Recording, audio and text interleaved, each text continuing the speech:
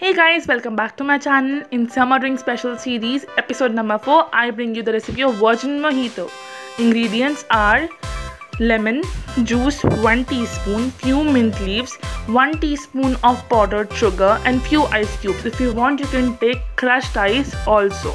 So now in a glass take 1 teaspoon of lemon juice, add one and a half 1 to 1 and a half teaspoon of powdered sugar, then add few mint leaves, few ice cubes, mix it really well. So i'm here mixing mixing mixing mixing. And after you mix it we will add our sprite. I'm not using soda here because it's not that easily available. And sprite we all love and drink it. So after you have added the sprite mix it once again. And your easy delicious recipe of virgin mojito is ready at your home. You don't need to worry. You can just make it at your home so easily. I hope you enjoy the video. Don't forget to like share and subscribe